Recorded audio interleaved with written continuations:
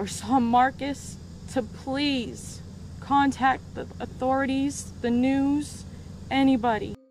Hey guys, welcome back to my channel dan aku harap kalian semua baik-baik saja dan semoga kalian semua menjalani hari yang menyenangkan. Di video hari ini kita akan membahas kasus yang sangat mengerikan yang dialami oleh seorang anak laki-laki yang masih berusia 3 tahun dan hal ini terjadi karena kurangnya pengawasan maupun akuntabilitas dalam sebuah sistem yang seharusnya dibangun untuk melindungi anak-anak. Kasus ini terjadi pada tanggal 15 Agustus tahun 2006, tepatnya di Ohio, Amerika Serikat, di mana seorang wanita yang bernama Liz Carroll yang berusia 30 tahun tiba-tiba melapor ke polisi bahwa anak asuhnya yang bernama Markus telah hilang.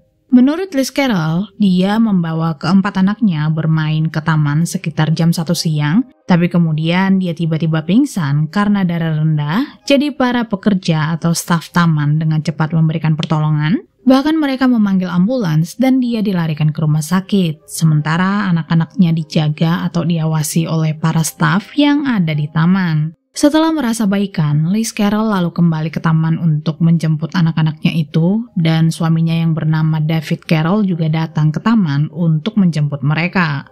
Liz Carroll saat itu membawa empat orang anak, di mana salah satunya adalah anak mereka sendiri yang masih berusia dua setengah tahun. Lalu mereka juga memiliki dua anak angkat, yang satu berusia satu setengah tahun dan seorang anak berusia tiga tahun yang bernama Marcus Fiesel, Kemudian seorang bayi yang saat itu sedang diasuh Liz Carroll. Setelah tiba di taman, pasangan Carol menyadari kalau Markus telah hilang dan mereka mengakui kalau Markus menderita autis yang membuatnya memiliki kecenderungan untuk kabur. Dia memang tahu beberapa suara atau terkadang responsif terhadap orang-orang yang ada di sekitarnya, tapi tetap saja dia adalah seorang anak kecil dengan kebutuhan khusus. Lalu setelah mendengar hal ini, taman tersebut kemudian ditutup Sementara pihak kepolisian, petugas pemadam kebakaran, serta masyarakat sekarang ikut serta membantu melakukan pencarian. Sebenarnya area taman tersebut dibatasi oleh pagar yang membuat para petugas berpikir kalau Markus tidak mungkin pergi jauh dari taman. Tapi kemudian David bilang kalau anak asuhnya itu bisa melakukan apa saja termasuk memanjat pagar.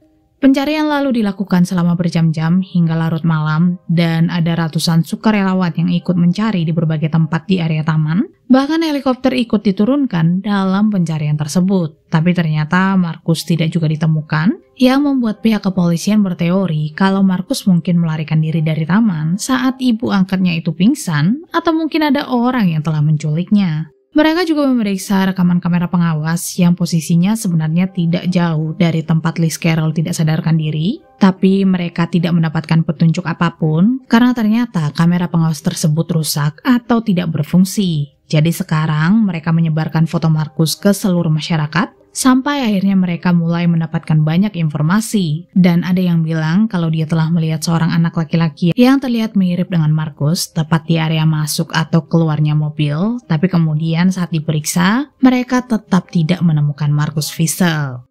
Pihak berwenang akhirnya mendirikan pusat komando di area taman. Ada ratusan bahkan ribuan orang ikut serta memeriksa dan menggeledah area tersebut. Mereka sama sekali tidak menyerah, bahkan para ibu yang tinggal di area itu juga ikut membantu karena mereka tahu bagaimana rasanya kehilangan seorang anak. Kemudian ada juga yang memberikan bantuan makanan untuk para sukarelawan. Dan memang banyak di antara mereka yang tidak pulang, lalu memutuskan untuk melanjutkan perjalanan dengan berjalan kaki ataupun naik bis untuk mencari Markus ke berbagai daerah.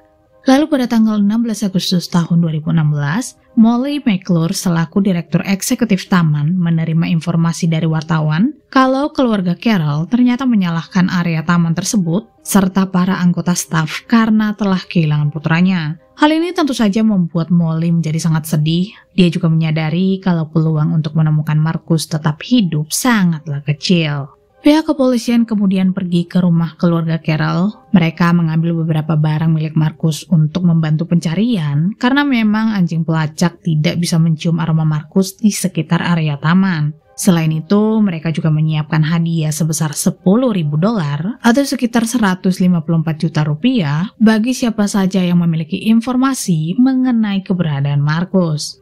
Lalu keesokan harinya, saat Liz Carroll keluar dari rumah sakit, keluarga ini memutuskan untuk pindah rumah karena sepertinya mereka cukup terganggu dengan media atau orang-orang yang selalu datang menemui mereka. Tidak lama kemudian, Liz Carroll mengadakan konferensi pers. Dia meminta bagi siapa pun yang membawa Markus untuk segera membawanya pulang, dan dia benar-benar membutuhkan bantuan dari masyarakat untuk mencari putranya itu. Dia juga mengakui bahwa sangat sulit baginya untuk bangun setiap pagi bila tidak melihat putranya itu, meskipun Markus bukan putra kandungnya. Tapi dia benar-benar sangat menyayanginya, apalagi Markus lebih dekat dengannya daripada ibu kandungnya sendiri. Sebenarnya kasus ini sangat mencurigakan karena menurut beberapa orang saksi, mereka tidak ingat kalau Markus ada di taman hari itu. Sebelum kita membahas kasus ini lebih jauh, kalian perlu tahu kalau Marcus Wiesel lahir pada tanggal 24 Juni tahun 2003. Dia menghabiskan tiga tahun pertama hidupnya di Middletown, Ohio bersama ibunya yang bernama Donna Trevino. Dan dia memiliki dua saudara kandung yang bernama Michael dan juga Peaches. Marcus ditempatkan di sekolah anak berkebutuhan khusus karena dia memang mengidap autis dan selain itu, dia juga anak yang sangat aktif yang membuat ibunya kesulitan untuk menghadapinya. Bahkan menurut salah seorang tetangga, dia kadang-kadang melihat Dona menangis karena kelelahan. Polisi juga sering datang ke rumah mereka karena ternyata Dona sering menjadi korban KDRT yang dilakukan oleh pacarnya dan selama kunjungan, petugas kepolisian memperhatikan bahwa rumah tersebut penuh dengan kutu dan berbau kotoran.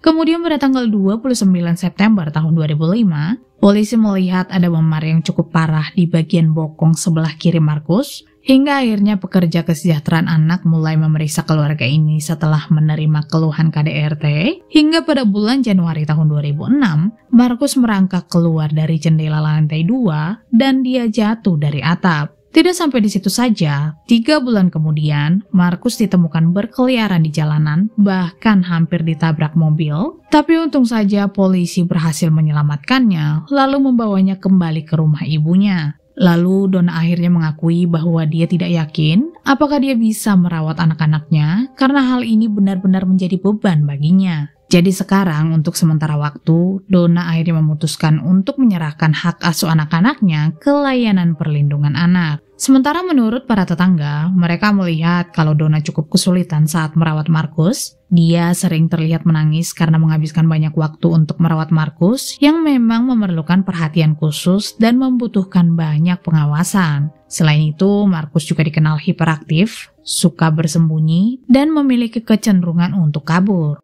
Anak-anak Dona yang sekarang sudah berada di dalam sistem ASU akhirnya ditempatkan di Lifeway for Youth, yaitu sebuah agen swasta yang memang sudah dikontrak oleh pemerintah. Jadi agen swasta inilah yang memilih orang tua angkat atau orang tua asuh anak-anak tersebut. Markus kemudian ditempatkan di rumah pasangan David dan Liz Carroll, di mana sebenarnya mereka sudah memiliki tiga orang anak, dan sekarang Markus menjadi anggota keluarga Carroll. Tapi ada beberapa hal yang tidak diungkapkan oleh pasangan Carol dan petugas agent juga tidak menyadari hal ini. Kalau ternyata David Carroll menderita gangguan bipolar dan ada orang dewasa ketiga yang tinggal bersama dengan mereka. Dia adalah Amy Baker yang merupakan pacar David dan juga Liz Carroll. Tapi sepertinya pasangan ini memang sengaja menyembunyikan fakta ini. Dengan begitu mereka tidak didiskualifikasi sebagai orang tua asuh. Selain itu, David juga pernah ditangkap karena telah melakukan KDRT, dan itu terjadi pada bulan Juni tahun 2006, tepat dua bulan sebelum Markus hilang, di mana mereka tidak memberitahu atau melaporkan kejadian ini ke pihak agen Lifeway, sementara pihak agen sendiri juga sepertinya tidak memeriksa catatan kriminal mereka. Beberapa hari sebelum Markus hilang, petugas agen sebenarnya datang ke rumah keluarga Carol untuk menemui Markus yang saat itu sedang sakit, tapi pasangan ini melarang petugas tersebut untuk menemuinya dengan alasan Markus sedang beristirahat.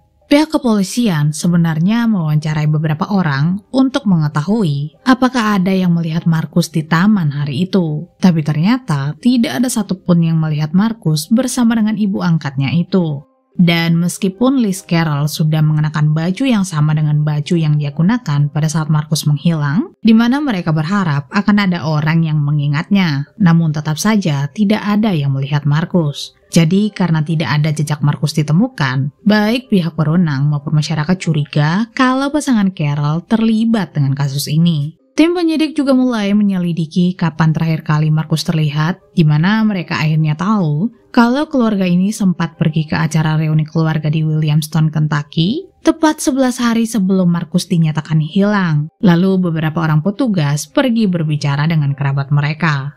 Keesokan harinya, Joe Dieter selaku jaksa wilayah Hamilton mendatangi Liz Carroll dan juga Amy Baker dia meminta mereka untuk datang memenuhi panggilan pengadilan dan mereka harus hadir di hadapan dewan juri. Tim penyidik awalnya berpikir kalau Amy mungkin akan mengakui apa yang sebenarnya telah terjadi karena memang dia tidak bertanggung jawab secara hukum terhadap Markus. Mereka juga menyiapkan pengacara baginya, dengan begitu dia bisa leluasa untuk berbicara. Tapi kemudian Amy membuat cerita omong kosong, sama seperti yang mereka ceritakan tiga minggu terakhir, Hingga akhirnya mereka memperingatkan Amy bahwa jika dia berbohong, maka dia akan menerima hukuman penjara. Dan setelah Amy diperingatkan, dia akhirnya mengaku kalau pasangan itu tidak ingin membawa Markus ke reuni keluarga. Jadi mereka mengikatnya dengan selimut dan selotip, lalu menguncinya di dalam lemari tanpa meninggalkan air minum ataupun makanan. Kemudian pada tanggal 4 Agustus tahun 2006, keluarga ini pergi ke Williamstone untuk menghadiri reuni keluarga dan pada tanggal 6 Agustus tahun 2006, David Carroll sepertinya berubah pikiran. Jadi mereka memutuskan untuk kembali ke rumah untuk memeriksa Markus, tapi ternyata dia sudah meninggal dunia. Dibantu oleh Amy Baker, David Carroll kemudian pergi ke daerah terpencil untuk membakar tubuh Markus, tepat di dalam cerobong asap sebuah rumah pertanian yang sudah lama ditinggalkan, dan bagian yang tidak terbakar dibuang ke sungai Ohio. Mendengar pengakuan ini, pihak kepolisian dengan cepat bergerak menangkap David Carroll. Mereka juga memeriksa TKP, mulai dari rumah mereka, rumah pertanian, dan juga sungai Ohio, di mana mereka akhirnya menyimpulkan kalau Markus meninggal karena suhu di dalam lemari yang sangat panas dan bukan karena dehidrasi ataupun kelaparan. Lalu mereka juga berhasil mendapatkan beberapa potongan pakaian dan juga pecahan tulang milik Markus dari sungai tersebut. Sementara Liz Carroll ternyata tetap mempertahankan ceritanya, dia masih tetap mengklaim kalau Markus mungkin telah diculik saat mereka berada di taman. Tapi kemudian tim penyidik memberitahunya kalau Amy sudah mengaku bahwa Markus sebenarnya sudah meninggal dunia. Jadi Liz Carroll benar-benar tidak bisa menghindar lagi. Dia lalu mengaku bahwa pada tanggal 4 Agustus tahun 2006, tepat sebelum mereka berangkat, dia sebenarnya pergi untuk melakukan beberapa pekerjaan dan saat dia kembali ke rumah, David memberitahunya bahwa Markus sudah meninggal dunia. Lalu dalam keadaan panik, dia mencoba menelepon 911, tapi Amy tiba-tiba mendorongnya dan mengancamnya jika dia menelpon polisi atau menceritakan apa yang sebenarnya telah terjadi. Liz Carroll juga bilang bahwa menurut pengakuan David dan Amy, saat itu mereka berdua ingin melakukan hubungan intim, jadi mereka menyuruh anak-anak untuk pergi keluar Kemudian Amy bilang kalau dia akan menurunkan Markus untuk tidur siang. Tapi Liz Carroll benar-benar tidak mengerti apa yang dikatakan oleh Amy karena ternyata mereka justru memasukkan Markus ke dalam lemari yang sudah terbungkus selimut. Setelah mendengar pengakuan ini, Dewan Juri akhirnya mendakwa David dan Liz Carroll atas tuduhan membahayakan anak dan satu tuduhan pembunuhan tidak disengaja. Lalu David Carroll didakwa dengan dakwaan tambahan berupa penganiayaan berat terhadap tubuh korban dan hakim menetapkan jaminan sebesar 10,1 juta dolar atau sekitar 154 juta rupiah bagi pasangan Carol. Sementara menurut keluarga maupun teman-teman pasangan ini, bahwa sebenarnya David tidak pernah menyukai Markus karena dia cemburu melihat Markus yang mendapat semua perhatian dari istrinya yang seharusnya dia dapatkan. Dan karena hal ini juga lah David sempat meninggalkan istrinya untuk sementara waktu. Lalu saat dia kembali pulang, dia membawa pacar barunya, Amy Baker. Selama persidangan yang berlangsung pada tanggal 21 Februari tahun 2007, Liz Carroll mengaku tidak bersalah. Dia bilang semua itu adalah kecelakaan. Dia juga meminta maaf atas kebohongan yang menyebabkan terjadinya pencarian besar-besaran di mana hal ini dia lakukan untuk melindungi anak-anaknya dan dia tidak bermaksud untuk menyakiti Markus. Tapi pengadilan tidak menanggapi pembelaan ini, bahkan Daniel Breyer selaku asisten jaksa mengatakan bahwa Liz Carroll tidak akan memperlakukan anjing peliharaannya seperti itu. Mereka justru membawa anjing itu bersama dengan mereka ke acara reuni keluarga sementara mereka meninggalkan Markus di rumah. Jadi pengadilan akhirnya menjatuhi hukuman 54 tahun penjara seumur hidup dan dia tidak akan memenuhi syarat untuk pembebasan bersyarat sampai pada tahun 2060.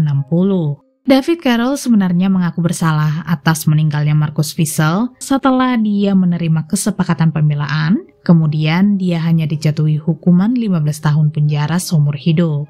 Sementara tuduhan terhadap Amy Baker ternyata dibatalkan setelah sebelumnya jaksa Jody Ters membuat kesepakatan dengan pengacara Amy, di mana kalau dia mau bekerja sama dalam penyelidikan, maka dia akan dibebaskan dari tuduhan apa pun. Selain itu, mereka juga menganggap kalau Amy tidak merugikan Markus secara pribadi. Tapi kemudian pada bulan Juli tahun 2010, Amy Baker dijatuhi hukuman 2 tahun penjara karena telah menjual obat-obatan terlarang. Kemudian pada tahun 2012 setelah dia bebas, Amy Baker mengubah namanya menjadi Amy Ramsey. Lalu pada tanggal 21 April tahun 2007, cerobong asap yang digunakan untuk membakar tubuh Markus dibongkar dan diubah menjadi tugu peringatan. Kalian juga perlu tahu bahwa bukan hanya Markus satu-satunya yang berjuang di bawah asuhan layanan anak ini. Saudara Markus, Michael, dan Peaches juga dibawa dari rumah lalu ditempatkan di dalam keluarga angkat yang berbeda. Namun mereka tidak tinggal lama di rumah tersebut karena setelah kasus ini menjadi pusat perhatian masyarakat, pihak agen Lifeway menarik kembali anak-anak asuh tersebut, kemudian mereka melatih para keluarga asuh. Dengan begitu, mereka siap untuk merawat anak-anak tersebut. Sebenarnya Markus bisa saja tidak mengalami hal yang mengerikan ini jika lembaga layanan perlindungan anak melakukan tugasnya dengan baik. Karena memang Markus memiliki kebutuhan khusus, tapi mereka tidak memberikan pelatihan pada keluarga asuh. Mereka justru hanya mengumpulkan anak-anak sebanyak mungkin untuk ditempatkan dalam sebuah keluarga. Dengan begitu mereka bisa mendapatkan uang yang cukup besar. Bahkan menurut pengakuan Liz Carroll, mereka dibayar sebesar 2.500 dolar per bulan atau sekitar 38 juta rupiah untuk penitipan anak, lalu 1.000 dolar per bulan atau sekitar 15 juta rupiah untuk biaya kehidupan Marcus Fiesel, dan mereka juga mendapatkan bantuan tambahan untuk nutrisi anak tersebut. Sebenarnya tidak hanya Marcus Fiesel, tapi ada juga anak-anak lain yang meninggal saat mereka berada di bawah tanggung jawab layanan anak. Tapi kemudian setelah kasus Markus Fiesel, baik masyarakat maupun pihak berwenang mempertanyakan mengenai penempatan anak asuh di negara bagian Ohio dan juga di tempat lain. Sementara itu, pemerintah memutuskan untuk mencabut izin agensi Lifeway for Youth dan beberapa rancangan undang-undang telah diajukan ke Kongres Amerika Serikat. Tapi meski begitu, penyelidikan masih terus berlanjut karena mereka ingin tahu kenapa Marcus Fiesel ditempatkan di keluarga Carol. Dari kasus ini juga, akhirnya banyak organisasi atau para agent yang mengubah atau memodifikasi prosedur mereka dan melakukan penyaringan latar belakang dengan cukup ketat bagi mereka yang akan menjadi calon orang tua asuh. Jadi, secara keseluruhan, legislator negara bagian, pekerja panti asuhan, dan advokat anak telah merekomendasikan 55 perubahan pada sistem panti asuhan di Ohio, Amerika Serikat. Lalu pada bulan Juli tahun 2012, Liz Carroll mengungkapkan pada publik bahwa dia sangat menyesal, dia benar-benar meminta maaf, dia juga merasa bersalah karena telah berbohong kepada publik dan juga terhadap anak-anaknya, dan dia juga sangat menyesal karena telah mendengar ancaman dari Amy Baker. Selain itu, Liz Carroll juga ternyata lulus tes poligraf, dan dia bilang bahwa masyarakat menginginkan keadilan, tapi mereka belum mendapatkannya karena memang sebenarnya dia tidak bersalah. Tapi kembali lagi, putusan pengadilan didasarkan dari hasil penyelidikan. Anyway, terima kasih banyak telah menonton video ini. Kalian juga bisa memberikan opini kalian di kolom komentar. Dan sampai jumpa di video selanjutnya.